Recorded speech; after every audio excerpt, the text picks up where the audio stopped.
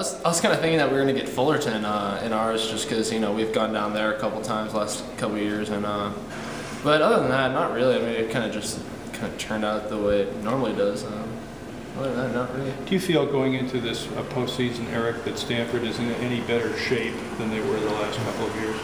Well, yeah, I think so. Just because uh, you know we're a couple years older than we were, you know, two years ago. You know, we have that experience going to Fullerton, winning a regional, going to North Carolina, that super regional, and you know we, we now know what it takes to uh, win a super regional, and you know what it takes to uh, hopefully push our way into Omaha.